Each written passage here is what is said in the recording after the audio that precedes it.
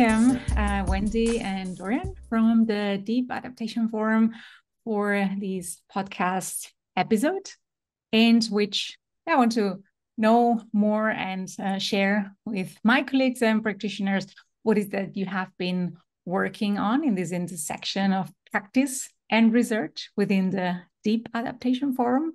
And we'll get in a moment in more of what you do. But um, I'll ask you to introduce yourselves in a moment, but maybe just as a framing to explain a little bit like why I was interested to have this conversation with you.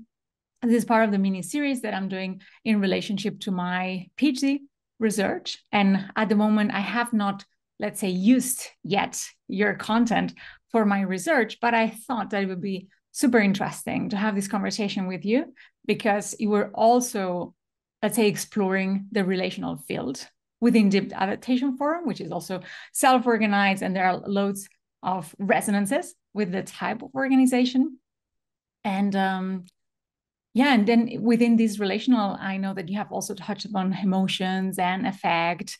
And on the other hand, you, you are, as I said at the beginning, between research and practice. And you were also doing participatory action research, which is a similar approach than the one I took. And then I thought it would be really interesting to jump in this conversation with you and uh, learn more and get to share a little bit of what you do. And with this, I would uh, invite you to introduce yourselves. And if you can also let us know a little bit more about the Deep Adaptation Forum, just a little framing so that we know what type of organization it is. What do you do? Over to you. Can go first. Maybe I'll talk a bit about deep adaptation and how I got to know Dorian, and Dorian can talk about our research, perhaps. Um, I joined the Deep Adaptation Forum about three years ago. And for me, the Deep Adaptation Forum is about a safe place to talk about the possibility of collapse or people's experience of collapse, because some people are actually experiencing it. And from many things, climate change, social problems, uh, economic and political problems, um, so when I first joined, there appeared to me very clearly to be a lack of um, diversity in the membership. So we have quite a big group. I think now Facebook itself is about 16,000 members. Mm-hmm. But we don't often see people from the global south who, as a South African, I know are actually facing collapse directly. And um, myself and a couple of colleagues early on, including Dorian, wanted to start a group within the Deep Adaptation Forum um, and we self-organized to create something called the Diversity and Decolonizing Circle, which sounds very formal and very structured, and it has become something quite solid. But it started off as a, a fairly amorphous idea. In a way, it was uh, practical research. We were all looking to learn more about all these topics. Perhaps the first thing we touched on was anti-racism training with a colleague, Nantukozo Sidibi. And um, a lot of things have arisen out of that. Um, one of the things which perhaps Dorian can talk more about is I recently did a master's degree and um, my particular topic was transformational learning around these topics. I investigated permaculture training, but it seemed to me that people going through anti-racism training were also experiencing some serious transformation of self. So when I heard that Dorian was doing research, I asked him if I could join him. Perhaps Jeremy wants to talk a little more about. Thanks, Wendy. And thanks, Alicia, for inviting us. Um, so um, I'm just um, in the final stages of my uh, PhD degree at the moment, um, which is on the topic of um, how online networks might help to um, bring about radical forms of uh, collective change through social learning. Um, so as as part of this research that um, this research project that I started with the University of Cumbria uh, in the United United Kingdom, um, I have been uh, inviting um, others in two online communities to join me in uh, exploring this topic and making sense of it um, together. And so um, within the Deep Adaptation Forum, Wendy has been uh, my co-researcher in this, and we have um, been having lots of conversations among ourselves and um, with others in the in the network. Um, and uh, it's a it's a participatory action research. Uh, so we we we tried to be as open as possible to whatever we were encountering and whatever people were sharing with us insights and see how uh, to see how we could integrate this into the cycle of the research itself. So it has been a very emergent uh, sense making, sense feeling process. Uh, so I like that you also mentioned, Alicia, the place of um, of affect and emotions in this because we we've really tried to bring this holistic um, perspective, I think, to to what we've been doing. Um, so um, and yeah, for the Deep Adaptation Forum, uh, as Wendy was saying, it's uh, it's a place that encourages people to engage with um, the topic of societal collapse as a result of various ecological crises uh, that are ongoing, such as climate change, biodiversity loss, uh, soil erosion, all of those things that are happening at the moment that render the current industrial civilization really unsustainable and perhaps yeah are dooming it to uh, uh, to uh, to fail in the years to come. Um, and so the response of uh, the deep adaptation forum is to look at those really heavy and uh, frightening topics and consider well how can we um,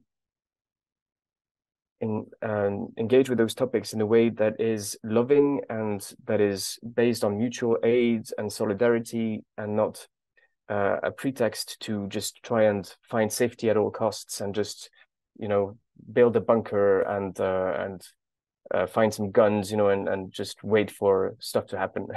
But to see it as a, actually a, an opportunity to really uh, maybe sow, sow the seeds of uh, new forms of being in community and society. At least that's how I would um, I would introduce it. And different people in the network have different um, focal areas or focal points. Some people are more interested in spirituality. Some people more on the practical aspects. Some people on the uh, say uh, more emotional processing and uh, inner work, and uh, some others um, on the social justice topics. And uh, I would say that the diversity and decolonizing circle has been uh, perhaps the most um, active self-organized group within the network, uh, really calling attention to the social justice dimensions of the current ongoing global predicament. Um, so I think I'll stop here. Thank you both for the context. Yeah, so within this very broad uh, container we're going to talk about, the diversity and decolonizing circle, as you both were mentioning. And I find this case particularly interesting because in my research, I was having a look at what are the things that are done in, in Greaterthan in the case of our collective, where let's say that affect is invited in or even like intentionally brought in to support our self-organizing and I think the some of the things I, I read in your case of the uh, diversity and decolonizing circle, I think show very nicely how it uh, affect is invited and then the different types of impacts and value it had. So we'll go through that step by step. But to get started, can you tell us more about the diversity and decolonizing circle? How does it work? What type of things do you do? How has it evolved through time?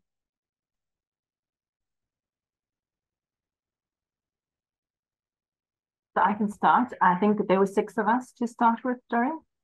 Um, and deep adaptation has a governance structure.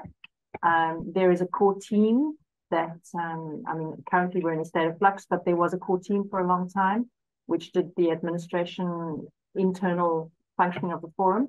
And this was a topic of much interest to that team. So three members of that team were in the original um, forming, very much self-organizing. We kind of met in a strategy meeting and said this is a need and um, someone I think arranged a poll for a date and we started getting together.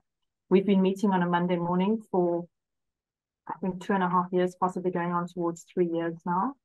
Um, some people have left very sadly, um, just from moving on, moving out of deep adaptation, taking on roles.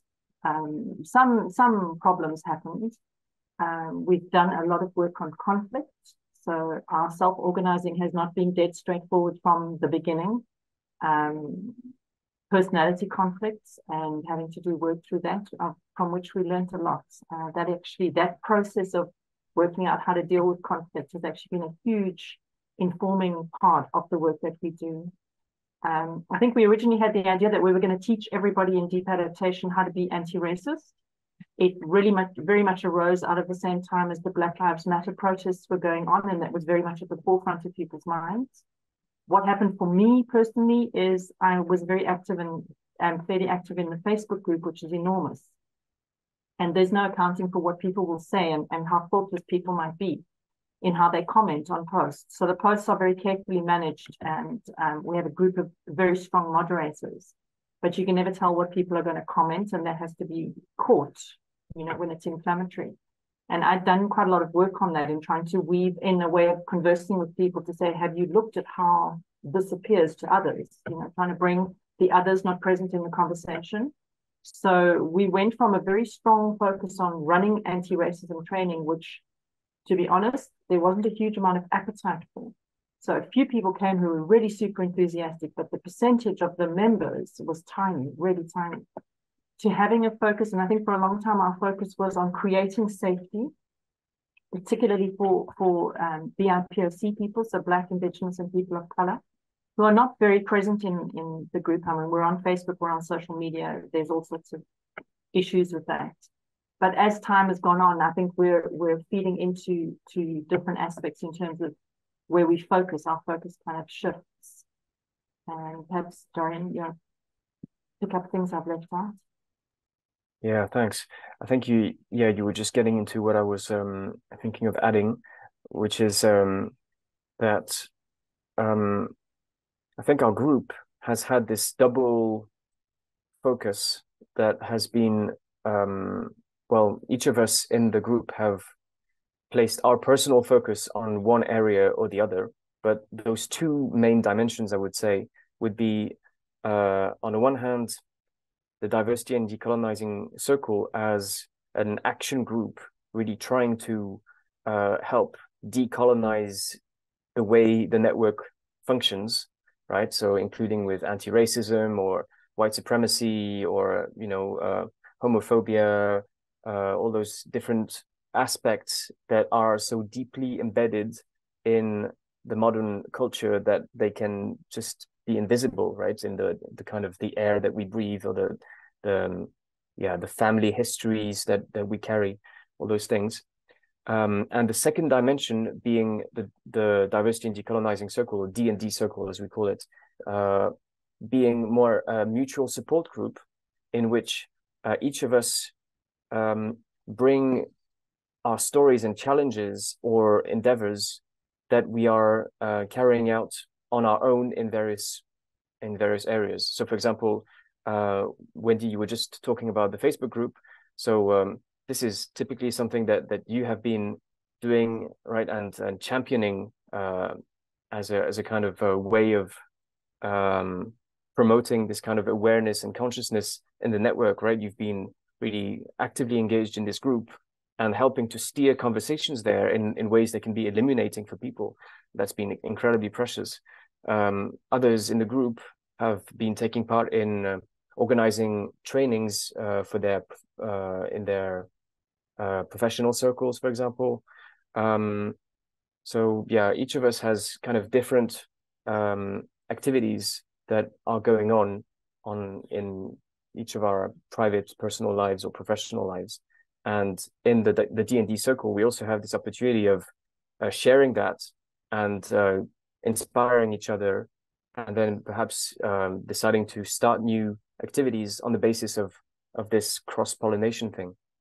Um, so yeah those two dimensions i think have been have been quite present for us so if I understand correctly, there's this more like training part and working on the organization and how to decolonize it. And then on the other hand, there is a sort of, I would understand, let's say, sharing circle, but with this very specific framing. Uh, can you say a bit more how you do it? So I mean, we wouldn't do it with a person that knows how to deal with this, but still, like, how can we imagine it? It's like we do a circle and then we all bring our challenges and as a, in a circle form start sharing and talking about it. And then we meet next time with whatever needs to be said. Like, how, if you could give us some more details on that. I think what can be, and Dorian, I'm just speaking first, but I hope I'm not. Uh, um, what can be useful to share that other people have benefited from hearing is that over time, our meeting structure has developed, and we have. Um, I, I want to use the word rituals that we have sort of structural things in the. They're all Zoom calls. So I've met Dorian, and I think Dorian's met Kat. Yeah, but most of us have not actually met in person. Um, so we always start our meetings, and this is a little bit of deep adaptation tradition as well. We always start our meetings with a check-in, a personal check-in, and that it, it, can be quite intimate. So we know quite a lot about each other's lives and, and what's going on for our, you know, behind the screen.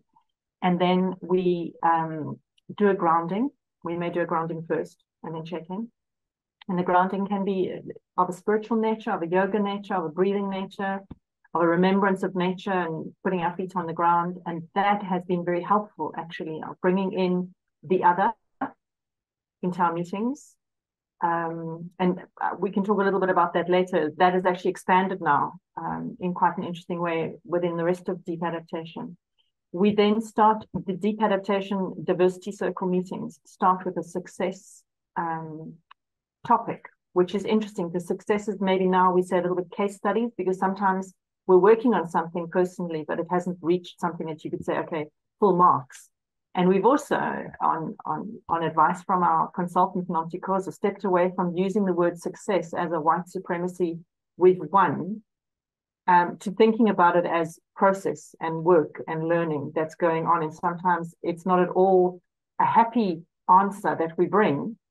It's difficult work that we're doing. I mean, I often bring stuff that's going on with my family um, in conversations with you know uncles and people that just difficult conversations but there's progress for me in being able to speak to some of that with the right language from the work that we do together so that's a big step we we are very careful to try and use sociocratic type structures in terms of different people facilitate the meetings. It was always one person and we looked at that. We had conflicts about that.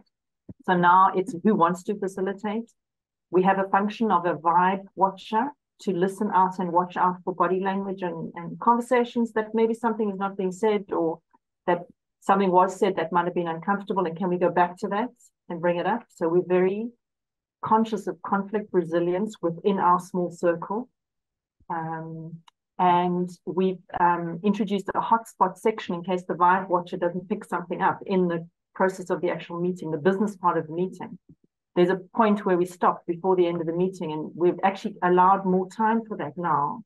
Our learning has been that we need to give time to that to say, was there a hotspot? Did something pass by you quickly and you couldn't address that? And these sound like um, very specific things for running a good meeting. But actually, we found that we can address some quite burning, emotionally difficult topics in that group. And we have processes and ways to to speak to them and, and work through them. And we always try to to leave time for checking out. So that's just talking about the one meeting structure. And Dorian, I'm sure you, you can add to that. But perhaps you want to talk a little bit about our learning circles as well. Yeah, I was going to do that. Um, so what Wendy has just described uh, is the format for our weekly uh, so-called business meetings. Um, it's it sounds funny actually to call them business meetings because it's a they're actually much more focused on relationship building and on uh, making sure that we bring all of ourselves into the space than on just saying okay item one on the agenda item two item three and then let's get things done and no we try to really uh, not fall into into those kind of patterns um, but we also have a second uh, recurring meeting which is uh, on a monthly basis um, which is the learning circle in which we really much more focus on um, uh, not getting things done at all, but really what how are we uh, changing? What are we what have we been reading, learning about, um, or experiencing in our lives, and uh, and really focusing on the um, various insights that can come from those conversations. Um, and then there's actually a, a, third type of meeting, which is also on a monthly basis, which is our community call or the uh, the open meeting, which is advertised on the Deep Adaptation Forum events calendar, that anyone can join. And uh, so we've had uh, different kinds of um, uh, processes or conversations happening during those calls. Um, some focused, for example, on uh, uh, having uh, sharing rounds on topics of decolonization. For example, how has how have I been um, my how has my idea of education, for example, or perfection been uh, colonized? Right? How how has my culture or my my my background given me um, certain boundaries or certain unhelpful ways of considering what is education? You know, what is being professional, or those different things, and each person shares in a in a in a round uh, not responding to to each other, but just deeply listening. Um, yeah, now we're in the in the middle of um, a more strategic process that is uh, held by uh, a friend of ours who is not in the the core circle of the the D and D, um, but who has been regularly attending those open meetings for months and months, and she is inviting us, uh, all of us with an interest in those topics, to envision um, the future of this work within the network. Um, and so, yeah, that's also a, a great way to, um, to connect more with other groups in the network, other people who are also doing amazing work, and and see how uh, we can weave more networks and uh, and other kinds of relationships um, in those spaces. Thank you both for that um, overview.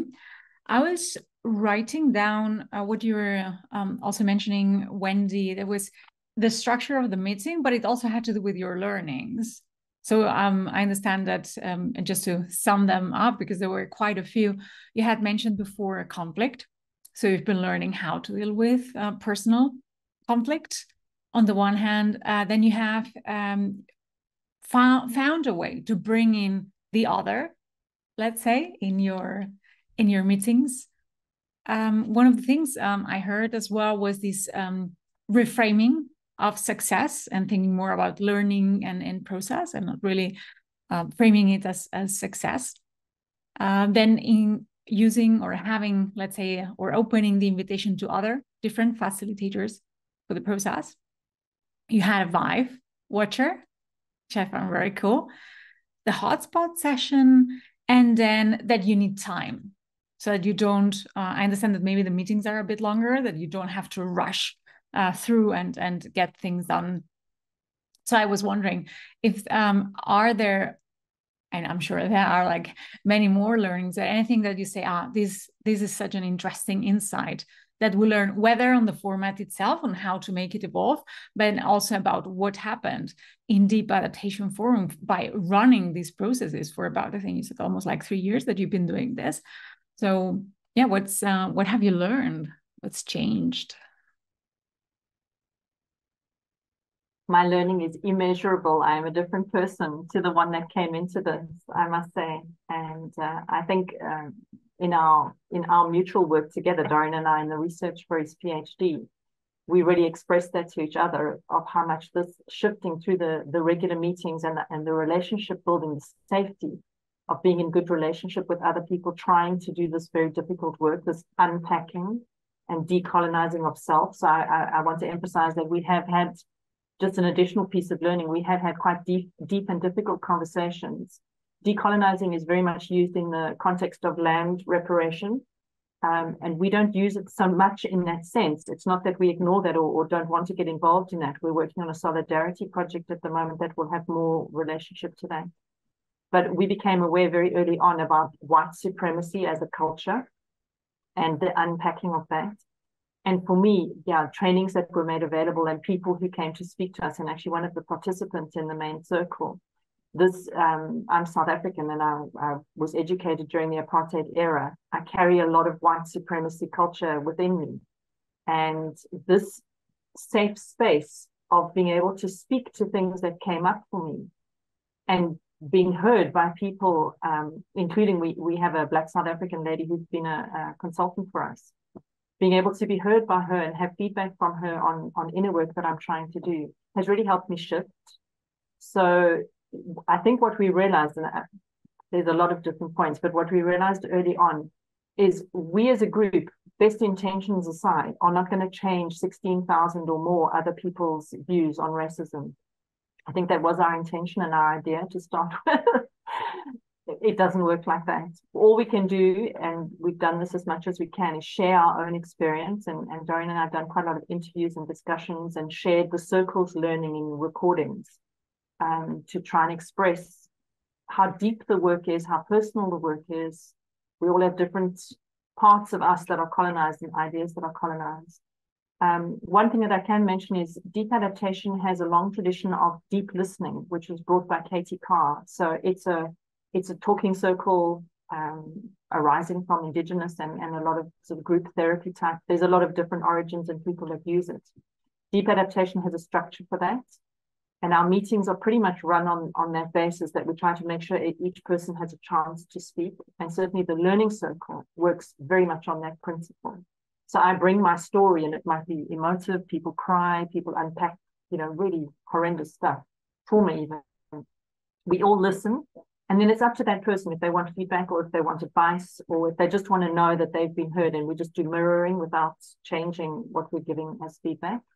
And I think for me, that's been one of the main deep adaptation tools that has been hugely valuable to me. That unlike conversations I have, most of my in person conversations, where it is a conversation, it builds and it goes in different places. Deep listening focuses on the thing that I bring. And I bring that into the circle and everyone hears me. But in a way, I can hear myself then as well from the feedback that I get. And that's been a source of huge learning for me. We use that for conflict. So I had some personal conflicts um, with another person in the group, not Dorian. And we use deep listening as a tool for that. Um, a third person sat in a Zoom meeting and, and listened to both sides. Um, yeah, and it's it's a very interesting tool. It's a very valuable tool. So I would bring that as a as a very interesting thing. That I think we unpacked quite a lot in our in our research how that listening to someone lets them unpack. Mm. Yes. I I want to um to go back to what you were just sharing a moment ago, Wendy, on about the the idea we had at first of uh training thousands of people or yeah, that's to me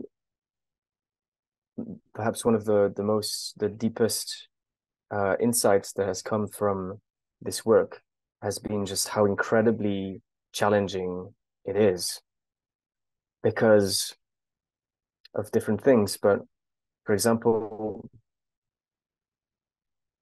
it's there's an important part of um, modern Western culture that I think encourages people to um, to do things in, in order to feel good about themselves, look good, you know, and feel like uh, we're getting somewhere, you know. So there's this sense like, okay, we need to to look good and feel good, you know, like it's all positive stuff. But when you start to really engage deeply with the deep shit that our culture carries, um, it's really hard to experience those feelings. And in fact, if you are experiencing them, then you're probably yeah, there's something that's not quite right about the the method, and that connects also with what we were saying about the successes um, earlier on. So it's not work that is easy to invite others into. It's painful self deconstruction, deconstruction of so many subconscious things that we've been growing up with.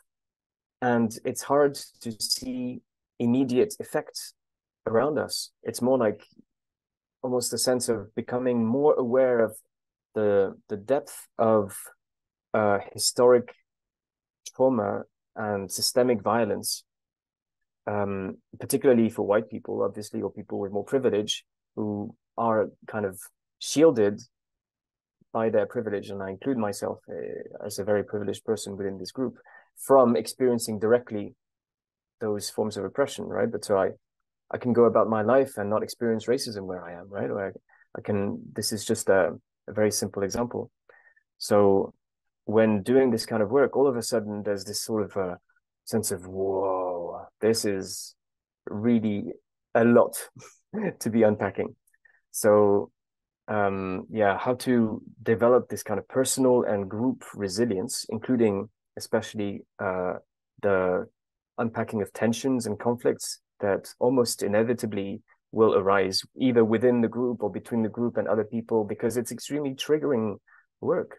But how to be able to develop the stamina to work through this and to not freak out and to uh, to still keep going, keep going more deeply and in a spirit of um, of mutual support and not saying I'm better than you. you see, like I'm I can notice this, you know, you don't notice it, you know, so I'm kind of more aware than you are. You know, it's it's extremely uh, challenging. I find it, um, especially then when you know that every country or yeah culture may also have uh, different a different history, for example, around colonization. So uh, the way to discuss those topics or um, invite people into conversations will have to be different if you're uh, communicating with a person who lives in the United States or in France or in Sweden or in Russia, you know, or in China. I mean, there's the the forms of uh, colonizations, uh, colonization, and the impacts of racism or other kinds of othering can be quite diverse, and so there's also this need to be aware of the the um, uh, similar patterns that are present worldwide because of the the wide ranging impacts of uh, modern colonial culture, but also the very different ways in which those things can uh, materialize in different places. So it's uh it's challenging work, but worth doing, important to do, essential to do, I think. Yeah. Yeah, we've been describing. I mean, I was going to ask like what's in a way you have been talking about it, but if we could talk a little bit more explicitly about the emotions or the emotional aspect, which I understand here it's central. Uh, you've been using the words triggering, um, also conflict that comes in uh, with uh, with this work, the self reflection, the deconstruction, like all of that. That uh, what what does with you. Um, but I'm wondering, yeah, if you could just reflect a little bit uh, on the on the part of uh, emotions and, and share it with us, and then if if it would be possible to think about what is you know this space versus all the spaces that you have in deep adaptation forum from an emotional perspective if there is any reflection uh, that you could share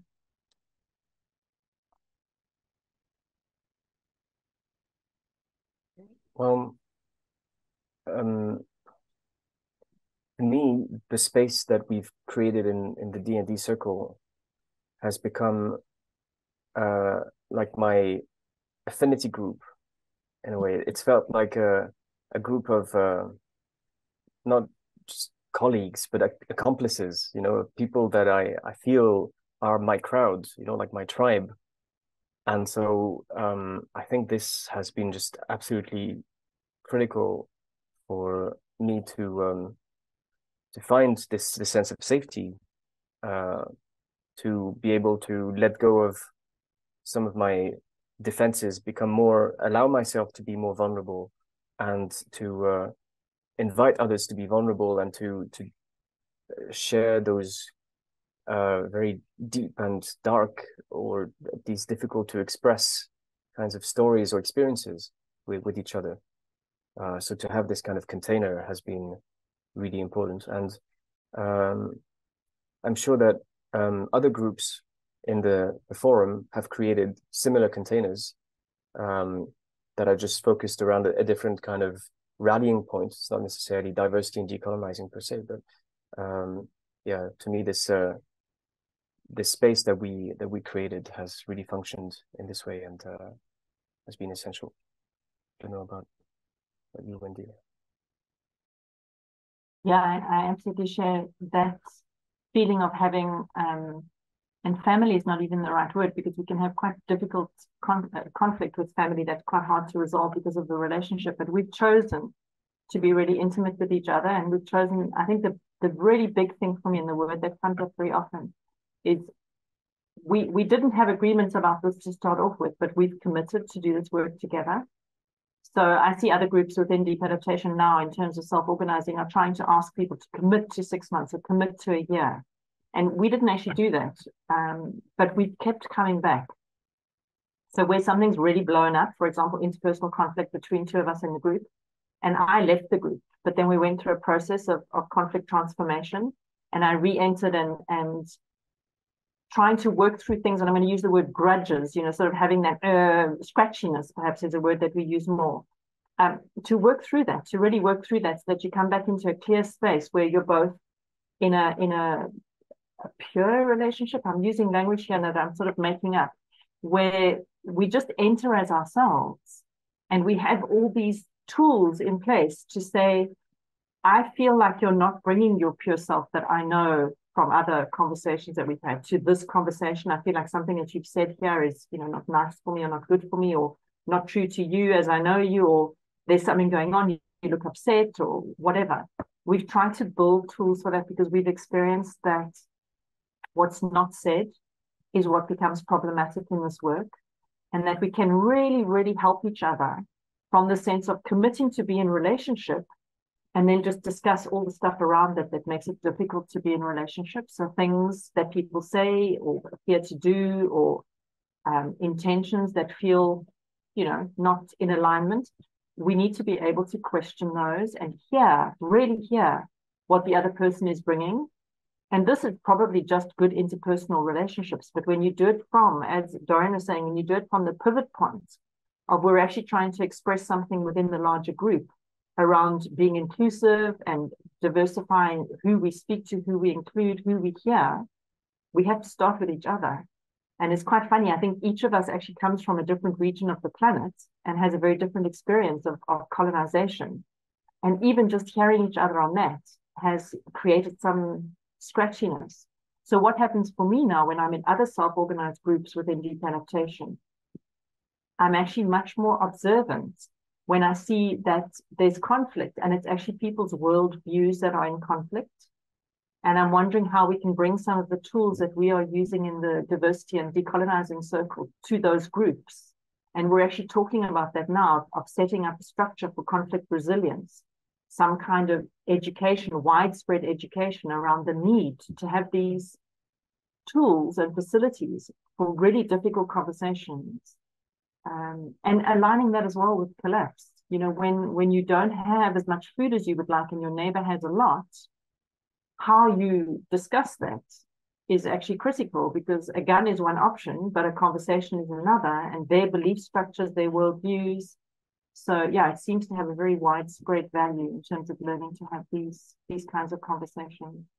And they're not easy. I, I've been more upset than I can ever remember being in any other situation, both at hearing other people's trauma in our group, a small group, but also in, in terms of conflict, really going deep into myself about who I am, that somebody else is questioning, and it's been really valuable.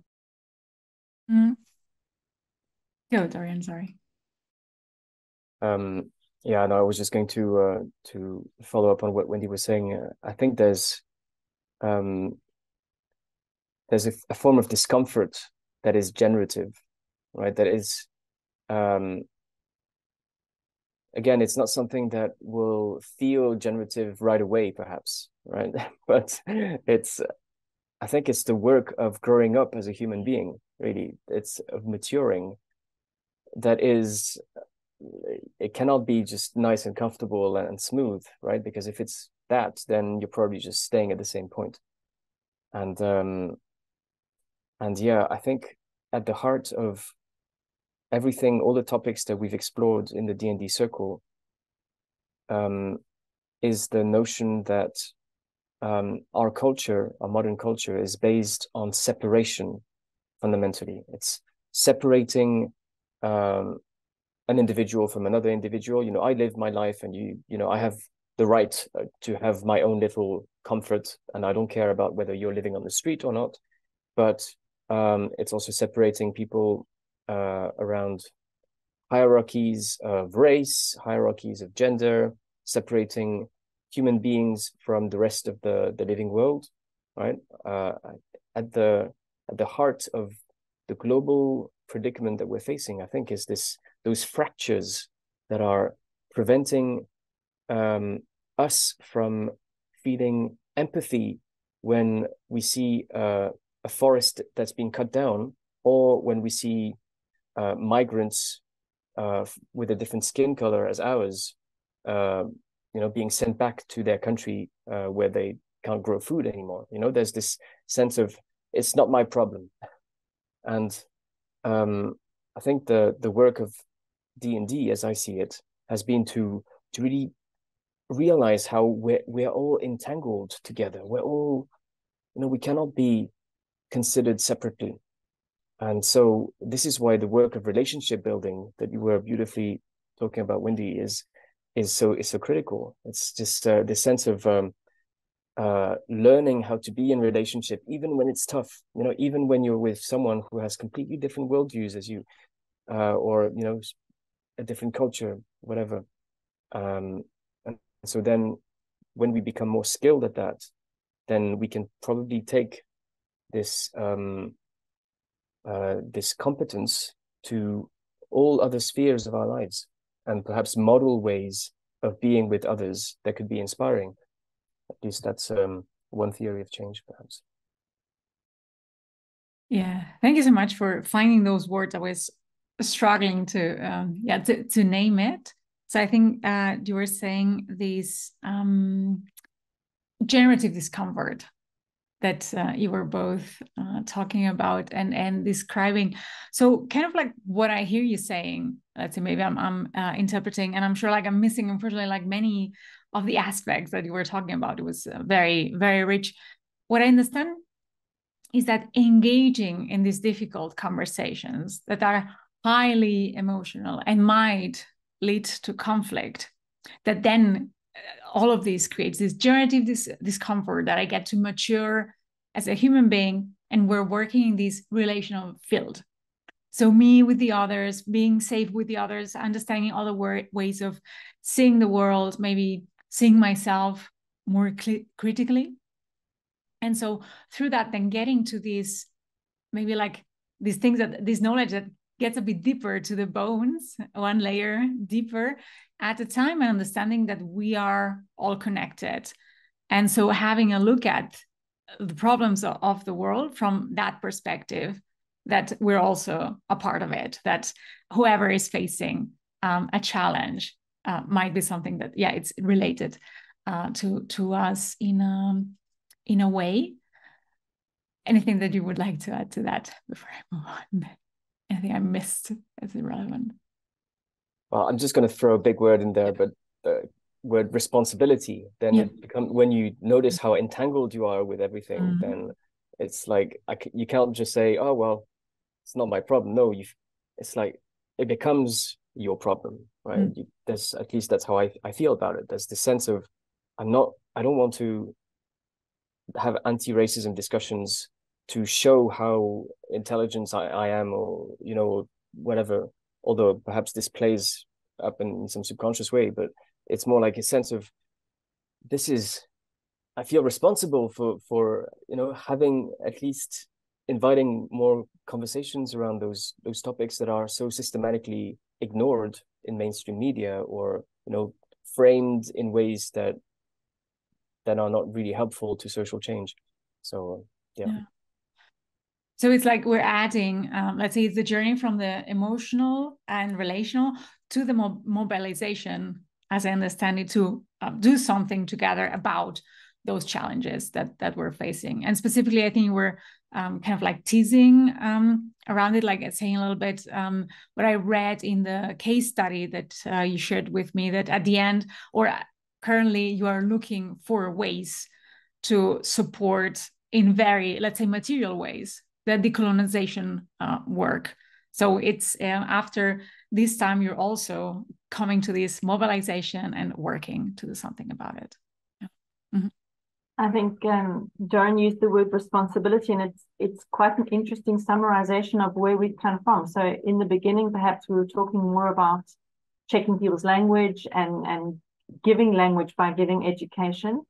But where we are just at this moment, this very moment, we had a meeting today, is very um, solidly, practically implementing um, through a friend of ours who will initiate and we will follow and support a solidarity project within deep adaptation and how that actually translates, what that actually looks like is kind of amorphous at the moment. We don't know where it will go, but it's how do we practically take the work that we've done and go out, go outward and, and be responsible world citizens at many, at many, many levels. So it's interesting. There's definitely been a progression in the way that we act uh, from doing the inner work to yeah acting on the responsibility that we've all come to feel and i think that the responsibility word is very valuable dorian because it also speaks quite a lot to the self-organizing that something brings us back to be in this committed relationship that is sometimes super shitty and super difficult but that responsibility to to grow up and do the work ourselves but also that responsibility to others who we have the privilege to ignore all of those things Yeah, this is really uh, interesting. I think from um, let's say collective, like collectives, like network, community, collective, or a group of people that want to do something together. There are all of these. I don't know. Is it the vision? Is it uh, you know like north stars? Like what is it that mobilizes people to do something, to act together? And what I'm hearing, it's kind of that in this case, the journey, in a way, comes from this relational and and from the um, emotional intensity and and uh, like kind of and I don't, I don't want to i don't know how to frame it i've been struggling the past like 20 minutes or so like how to talk about emotions without wanting to be have a utilitarian perspective on them but understanding that it's also part of our cognition and how we think and, and how we act and maybe this format is bringing them even more forward than we're used to. And through this journey now, you have come to this point in which I know maybe, of course, there are many elements that might play out as well. It's you have been co-shaping some sort of yeah maybe vision is uh, like a not definitely not the appropriate term but something that is pulling you in a direction and creating distraction. So i find super interesting from maybe let's say this perspective of how you know how we take responsibility for something. Why do we act together? And having a look at uh, yeah this evolution that you've had. I don't know if you want to add any comment on on that. I was just thinking that is a very interesting insight for me um sorry wendy do you want to go? I can go you can go. Do you want to go first? Well maybe just a, a very quick thing but it reminds me of um uh all the ipcc reports mm-hmm. for example you know that have been produced over the past 40 years just showing what's happening or what the scientists are are you know um, predicting about the evolution of the climate and how destructive it is and just how this has been just shared openly everywhere but it stayed on the cognitive on the cognitive level. And so i think it's if you don't have the sense the sense of emotional resonance then it's unlikely that you'll be reading an IPCC report and then you know doing a, a hunger strike, you know, or um, some kind of uh, project for social change. You know, I think it's, it's if it just stays at this stage of intellectual understanding, um, and it's the same with racism. It's the same with anything. You know, it's just like, oh yeah, this is important, and uh, this is, uh, you know, a very crucial topic. But are you going to really be mobilize your energy and your you know maybe have sleepless nights maybe encounter all kinds of discomfort around this i don't think so so yeah that's just something i wanted to note yeah i think i think what i was thinking of adds to that dorian i was thinking that one of the things that brought me so i was in deep adaptation forum maybe eight months before the group started forming the circle started forming and Jem Bendell, who founded the movement and wrote the original paper, wrote a blog, The Love in Deep Adaptation. and that really, really spoke to me. I, I think this is the core message that Jem gives about collapse, societal collapse, is we can go into a, a fascist, uh, authoritarian, guns prepping route, or th- that's opposite, and or we can go in the deep adaptation route. And on our website, we talk about embodying and enabling a loving response to our predicament. And that I think really speaks to all the members of the circle, to our motivation in terms of responsibility. Is if we talk about emotions, is learning what it looks like to love others that sometimes we don't understand, we don't agree with their worldview, but we do wish them the best and we do wish them a long life and we do wish them comfort in the situation of collapse. And perhaps not so true around our small circle of generally white people. We have one black consultant um, living privileged lives a little bit away from collapse situations, but trying to expand our circle of awareness with love, not always easily to people we don't understand, we don't share a language with sometimes, um, not never mind just English, but also a language of, of understanding their situation, their life situation, but coming back to love. And I think the conflict resolution process and, and conflict resilience, building conflict resilience into our structure helps us to come away from the the the common culture across the Western, I'm going to say Western world, the weird world, um, global north society of every man for themselves, that if I'm in conflict with someone, I just never speak to them again, or I find a way of excluding them. It's like that's not going to work with a loving response to other people's difficulties. I have to come back to that relationship and find a way of unpacking the the conflict so that I can still be in, in a supportive, loving relationship to that person and doing that work myself and not expecting others to do it. So I think for me, the key emotion, and I don't know if love is an emotion or a commitment. I think it's a responsibility in a way. But yeah, it comes back to love. And we we have sessions just to share where we haven't got a big project going on in the the diversity circle, where we have a party. You know, we meet on Zoom, we have a party, we put on silly hats, people get a drink, we play a bit of music. So yeah, share the love among ourselves as well.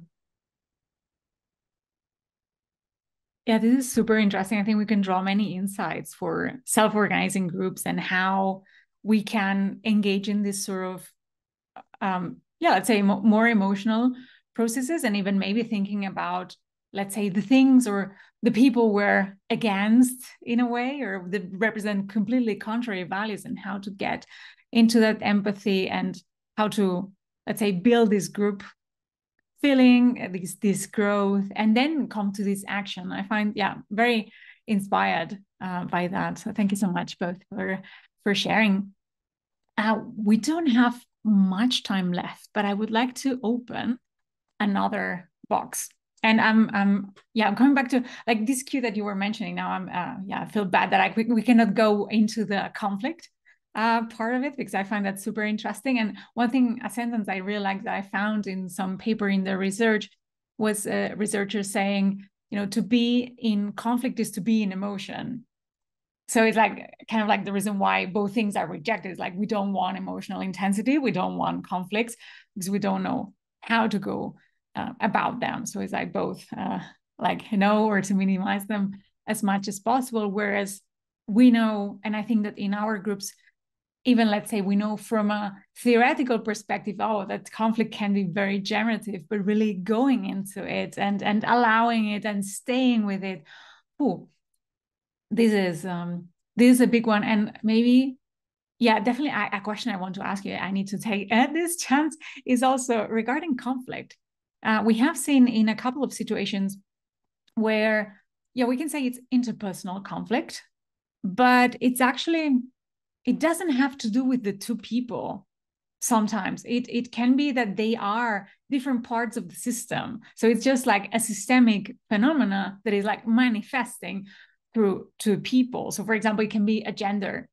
issue and it's not the let's say that person's fault i would say but it's how you know that person represents a certain part of the system i don't know if you have like any insights on that that like we have been uh, I have been wondering and talking to some colleagues like, how can we go about that? That it's not really about the people themselves, but what, uh, yeah, comes through them from the upbringing, society, whatever. If I don't know if you have any insights or whatever that you might have learned. Um, well, I was just going to um, to say that um, one thing that has emerged in conversations around conflict within our groups has been um, this idea that rather than talking about conflict resolution, conflict transformation can can be more interesting, more generative. And one of the reasons that I sense for this is that conflict transformation as an approach, uh, I think, pays much more attention to those deeper, uh, submerged parts of the iceberg in a way. You know that um, it's not. It may look like just two people having a, a problem, but in fact, they each of those people carries brings with them a whole field of um, uh, of social um, contexts that can be uh, ridden with tensions around gender or race or class uh, or what have you, or just personal trauma. Well, it's never just personal trauma. It's often something that also comes from way back when. And so, uh, yeah, maybe this um, um, conflict transformation approach, which I, I don't know a lot about yet, but which I feel we've been investigating in some ways within the D&D circle, uh, is not premised on the need to find a resolution right away. You know, how do we make sure that we go back to normal and we can keep going, you know, with our business, but more about like this, uh, uh, how can we have those deep listening conversations that Wendy was talking about to really go deeper and deeper into, you know, wh- why did this discomfort emerge? You know, why did we start having those uh, those issues? And perhaps it comes from a series of small things that go way back, way back in in history, and uh, and then just slowly go back and disentangle that thread. And perhaps we still have some discomfort, but we we have more clarity about why this this discomfort may have arisen in the first place. And so, yeah, it's sort of uh, we can then go through another cycle of of exploration and, and another cycle and another cycle and and it helps with the growing up also i think. What do you think wendy? Absolutely. Absolutely out of what you were saying the picture that came to mind for me and i don't think she'll mind me sharing it but Nonti Sabik that gave us our um, anti-racism training that we've run a couple of times in the deep adaptation forum tells a little bit of her own personal story as a Black South African woman. She now lives in Europe. And I have to be honest, I actually can't remember the specific parts of her story that she told. I remember the emotion. I remember absolutely hearing her, someone that I'd formed relationship with and, and had love for, hearing her express the difficulties and the pain and the trauma inflicted on her by racist attitudes and, and racist responses from people like me um, and and really feeling them. So this is, I think, where the emotional side of it really helps to transform and, and real learning, real change in terms of how I express and even how I think about certain things has shifted to a different track in the record. You know, I'm, I'm just playing from a different, even a completely different record, to be honest. It really arose out of emotional connection I was really able to hear her instead of seeing her as a as a you know a TV show expressing something horrendous um, and and letting it flow over me. I actually really felt it in my body, and um, we are lucky enough to have um, an LGBTQ person representing in our circle, where again that has happened. You know, stuff has been has been done not necessarily by us to that person within the circle, but that person has been able to express difficulty and complexity and, and trauma and emotion around their being othered that we can really hear because we're in direct relationship with that person, deep personal friendships and love, that I almost feel like it's happening to me. I mean, perhaps that's going one step too far, but I think that's the type of structure we're trying to create where we can really sit with that person in the fire.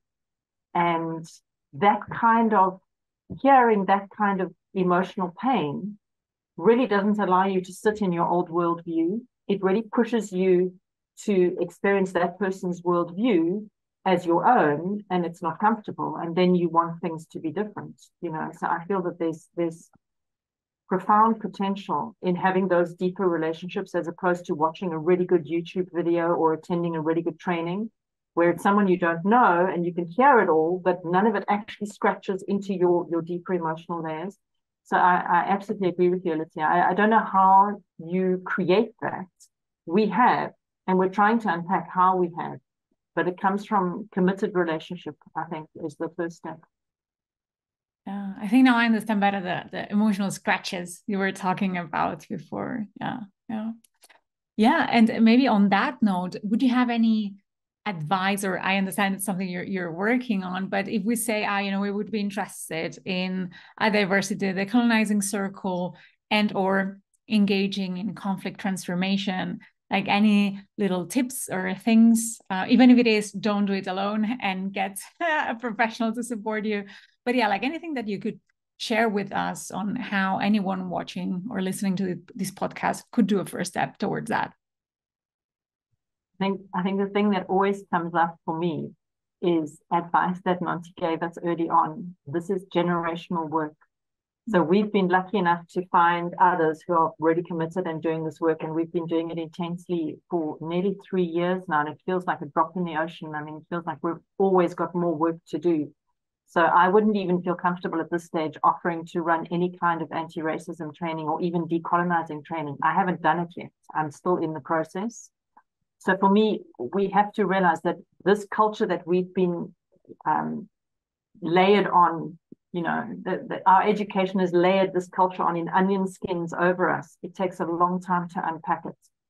And I really mean time. I mean, I don't think you can go on a course and do it. I think you have to find a way of, of committing and work with others. I think you need someone who puts up their hand and says, I'm seeing something here. Can we talk about it? and be in relationship where you can actually hear them and, and not just dismiss it. Absolutely. And I love that you you brought up the image of um, onion skins, Wendy, because uh, to me, this is also uh, it has been a um, a very useful metaphor to think about this work. Um, it's a metaphor I heard from Vanessa Andreotti, which is a, a scholar in um, decolonial studies. Uh, uh, we've been sharing a lot of work of in in the circle, uh, Professor Vanessa Andreotti, and um, she says that the the usual Western education model can be compared to um, um, climbing up a mountain, right? So your objective is to get to the top of the mountain, right? You accumulate all the knowledge, you become the expert. You know, everyone goes to you, and you know, you sort of have this uh, this dominating view over the field, you know, and you can teach everyone, you know, what's right. Whereas, in fact, what may be much more uh, important as a form of learning nowadays is, in fact, onion peeling. so it's you ha- it's peeling one layer after another, you know, of the different ways in which um, my your worldview has been created, you know, in and even not just worldview, but uh, on a neurobiological uh, level, why are we still um, living the way we are? That's not just because of wrong ideas, but it's because we are addicted to certain ways of being that are comforting, that are making us feel good, that are making us feel like we have control or expertise or authority or you know that we know who to turn to as the leaders or you know the people who who will guide us where we need to go. So there's there's just a lot to unpack. Um, and so peeling away those onion skins um, tends to bring up tears. So there's also this part of the metaphor which i find really uh, really nice is so in response to your question alicia i think it's you have to bring together some people who are who enjoy or at least who are ready to be peeling onions for some time. And uh, so who have this kind of um, commitment and who are also benefiting from the presence of uh, people who have been peeling onions for a long time. And so who uh, who can also guide you on how to do it in a way that you know makes it a bit less uh, overwhelming and uh, that can be also very grounding when conflict arises, when the energy can be a bit volatile.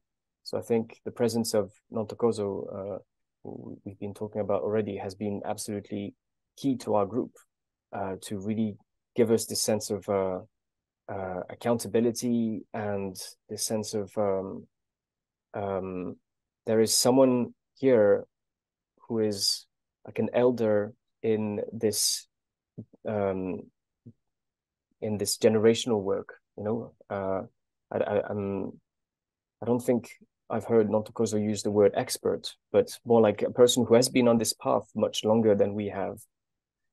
And uh, so, yeah, if you want to do those things in a self-organized way, especially starting from scratch, I think it's really important to have a key person who is there at least some of the time to give guidance um, because uh, yeah, it's it's just extremely complex.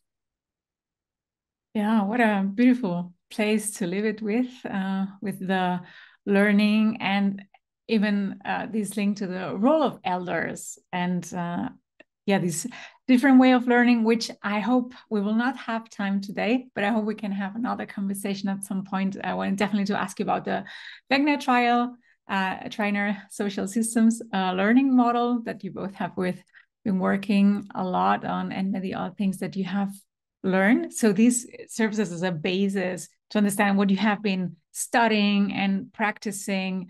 And yeah, it's really inspiring. So thank you so much for having shared all of this with us. It's been yeah, an absolute pleasure and definitely a privilege. Thank you so much. Thank you so much, Alicia. I have massively enjoyed this conversation with Wendy and Dorian. I hope to have them for a second part on many other aspects of their research, which is very, very vast. And they have had a look at social learning theories, which I'm sure is going to be super interesting for many of you. But from this first conversation, a lot of takeaways already, starting by this journey that uh, they were talking about from so starting to share and understand each other being in relationship and then through that process of being in these highly emotional and very challenging conversations to getting to this mobilization or responsibility part which often i think that in many experiences i've been with we finalize our journey in a self-reflection or maybe some little action for our group. But in my understanding, what I have um, taken from them is that when it's actually really there and highly emotional and as raw as it needs to be, it can take us to this responsibility and then doing really something about those feelings that we have, these things we believe that need to change from our system. So that's uh, definitely a big takeaway. Second one would be these um, emotional scratches that uh, Wendy was talking about, and um, you might have encountered. I have also heard it in a few different places, like what are, you know, how we are in deeper relationship by also engaging in this discomfort. And um, and yeah, here uh, Dorian was talking about the generative discomfort that it can be to make us grow, to help us mature. We also talked about conflict transformation and how it's good to stay there, keep coming back, keep working on it, because uh, usually these conflicts that we were saying in our discussion have a systemic background and are highly, highly complex. And it's not us, or not only us as individuals, but it's a much bigger conversation. So taking time to work through that. And then we finalize with uh, this beautiful analogy of the onion and um, shedding tears and, and peeling the onion as this way of learning that is required for many of these very challenging conversations how we keep how we need also to engage in time to be peeling that onion and getting deeper and then getting into this personal and social transformation. So, from a self organizing point of view, our I wasn't really able to build the link during the conversation. Somehow I was feeling some sort of um, apprehension or even re rejection in, in maybe thinking about, ah, but this question I keep having, how are emotions, um, how can they support self-organizing or what is their role? Because I, as I also mentioned in the conversation, I really don't want to take, to get into a utilitarian approach to them, but I think thinking about it, it's more about acknowledging, acknowledging that they are there and also working with them and through this awareness, then also tapping into the potential of these emotional spaces that take us to this personal transformation. And of course, it's not only individual, or it happens actually because we do this in the collective. So, what does it change in our field, in our group, when we engage in this type of work? So, again, one more um, example of how emotions can support self-organizing and these processes and staying in relationship with each other. Yeah, hoping to have a further conversation with them. I hope you enjoyed this a lot and could take some takeaways for yourself as well.